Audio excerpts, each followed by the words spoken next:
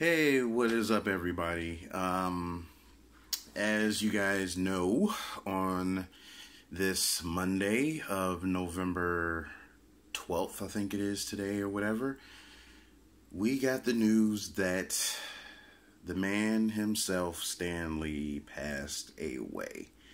And it's easy for this to be a really solemn day and I know I've been a little lax on making the videos lately, but I'm in the process of planning some things. But figure right now would be as good a time to make a video about something, and unfortunately, it's about Stan Lee's passing, and of course, I had to do it right in front of my uh, uh wall of Marvel.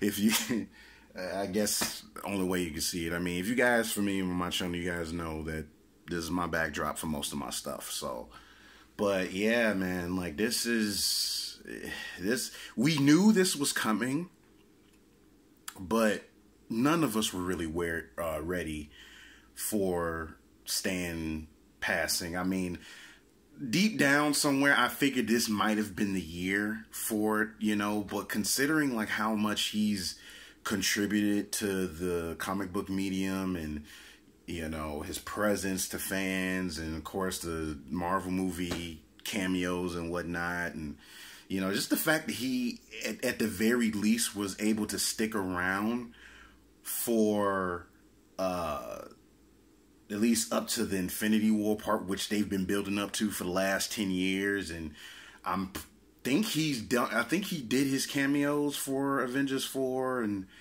I think Spider Man Far From Home. I don't know, but you know, it's you know, it's that point. Like this is the last time we'll see him make cameos, man, and it's uh it's rough, you know, but it's easy to be solemn about it today. But at the same time, gotta think about it. He lived a very full life, and I'm lived his best life, you know. You know, he was 95, man. He lived his full life, man, like given to us you know, like awesome characters, awesome stories, and stuff that people were able to continue on. Like, I mean, I mean, I know he didn't create everybody on this wall, but at the same time, I mean, just look at look at the legacy he helped create. You know, it's like you can't deny that. Like this is these are these this is a legacy he left behind for us, and we still enjoy to this day. You know, um, you know, just like him and of course uh, you know Steve Ditko, Bob Kane, you know what all and Jack Kirby, you know. I mean, even know, like is Steve like Steve Ditko like, I don't know. I'm just naming names off right now, but at the same time it's just you know, it's it's it's easy for us to be sad, but let's celebrate this day.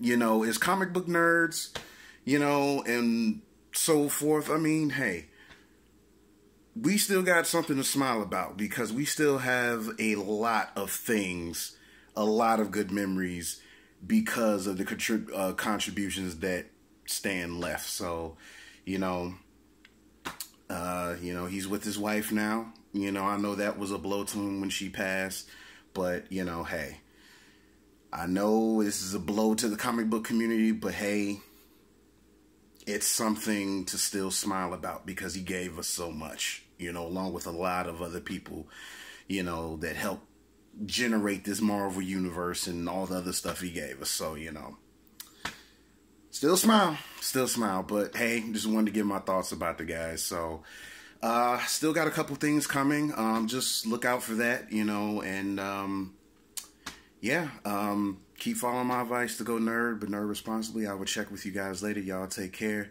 Peace, love, deuces.